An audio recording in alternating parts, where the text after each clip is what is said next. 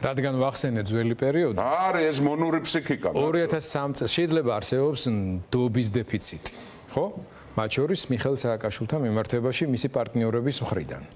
რადგან არსებობს 2003 წლის მაგალითი, რომელიც ასევე კოალიციური ერთობით დაიწყო, მასშტაბი ნაციონალური მოძრაობა, ეს არის ყო ერთი პარტია, შენ კარგად გახსოვს მით უმეტეს, იქ იყო რამდენიმე პოლიტიკური სუბიექტი, რომელთაგან უკვე მეორე მესამე წელს თითქმის არავინ აღარ დარჩა გარშემო, ხო? ანუ, როდესაც სისტემა გაძლევს იმის შესაძლებლობას, რომ შენ შეუზღუდავად მართო ქვეყანა, ეს ისეთი ტიპის ცდუნება არის, რომ შეუძლებელია მით უმეტეს ასეთ ქვეყანაში, სადაც მოსახლეობის დიდ ნაწილს არ უყვარს დივერსიფიცირება თავისი არჩევანის და გადანაწილება სხვადასხვა პოლიტიკურ სუბიექტებზე, ხო?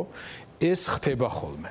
ამიტომ რა უშლის ხელს იმას, რომ სააკაშვილმა თავისი გამოცდილებით, თავისი მუხტით, თავისი დინამიურობით, შემართებით თავისი წვლილი შეიტანოს და თავისი კუთვნილი ადგილიც დაიკავოს პოლიტიკაში.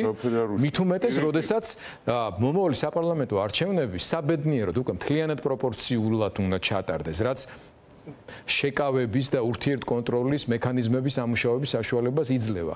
ხომ არ არის უფრო უკეთესი, რომ ამაზე გააკეთოს აქცენტები ოპოზიციის დანარჩენმა ნაწილმაც და იმ ადამიანებმაც, რომლებიც მიხელ სააკაშვილის როლს გადამწყვეტ როლად მიიჩნევენ აი ამ სიტუაციაში. სავსებით შესაძლებელია, გიორგი.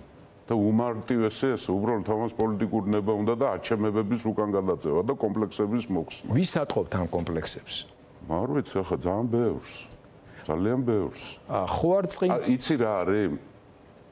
აი სამხედრო მოქმედებ წარმოვიდგინოთ ჩვასაუკუნეები და რაღაცა ბძოლას ვაგებთ.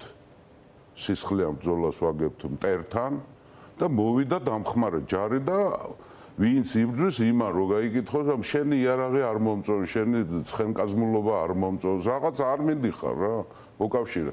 სააკაშვილი სთავაზობს ოპოზიციას საერთო ფრონტს რიგარეში არჩევნების დასანიშნად, იმიტომ რომ ვიმეორებ ორში რო დაიხურება უბნებ მეરે იწება უკვე რიგარეში არჩევნების მოპოვება.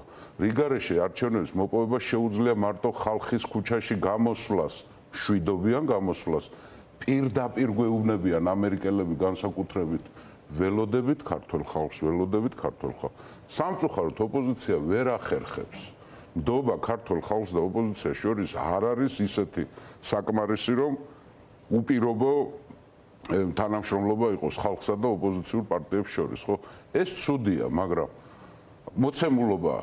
სააკაშვილი არის ერთადერთი პერსონა, რომელსაც შეუძლია ფართო მასშტაბიანი აქციებით უზრუნველყოს რიგარეში არჩევნები. იქ რა იქნება? მე ვნახოთ, ვისაც უნდა ბლოკი გააკეთოს, ვისაც არ უნდა ანუ გააკეთებს, ვისაც უნდა ოცნების ჯიბეს ჩაჯდეს, ძალიან ბევრია ჩამჯდარი ასეთი. და ძალიან გასუსული არის ბევრი. განსაკუთრებით ამ მოსმენების შემდეგ, ხო? იმათმა იჯავრო ნეგა. ხო, ვიღაცა ასე იქნება, ვიღაცა ისე იქნება, ვიღაცა მესამე ძალა იქნება, ოღონდ ნამდვილი მესამე ძალა და არა ის რაც დღეს აგვაქვს, რომ პირველი ნომერი რო შეგვხვდება და მესამე ძალას დაიქვა, იგივეა, წაღარ მოგიყევი ქუთაის ჩემეზობელს, დავითობა დღეს ბიჭი გაუჩნდა და ზაური დაარქვა. იგივეა რა. ხო. ბოლო კითხვა უნდა დაგისვა გუბას.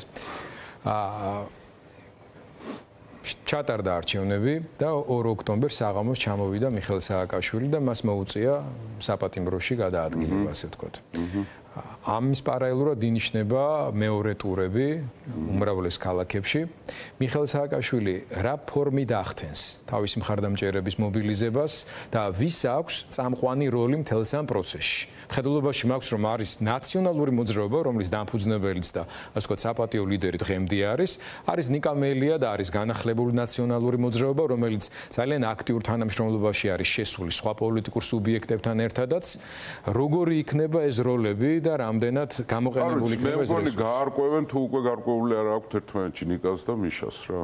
ეგ მათი საქმეა. ეს სხვათა შორის მათი შიდა პარტიული საქმე არის, რომელშიც მე მაქსიმალურად ვცდილობ, რომ არ ჩავერიო და საერთოდ ინტერესს არ მაქვს, რომ ჩავერიო.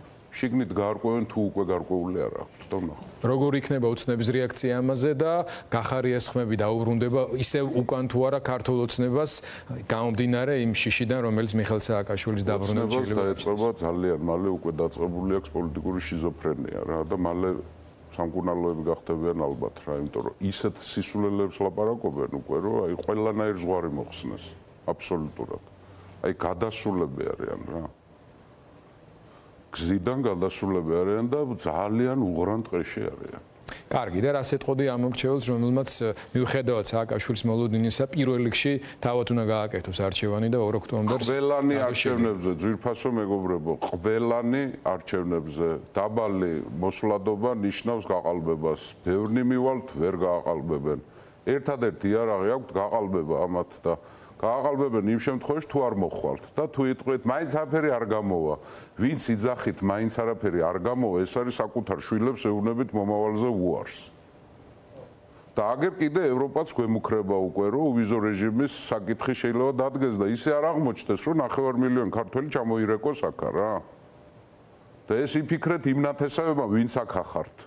და ფულს გიგზავნიან იქიდან და ამდენ წელია გინახავენ და მაინც ოცნებას აძლევთ ხმას ეს იფიქრეთ თქვენ ყველა მოქალაქეს და თითოეულ მოქალაქეს გაქვთ საფიქრალი უკვე, ოღონდ ორი დღეა დარჩენილი. მადლობა გუბასანკიძე, მადლობა თქვენ.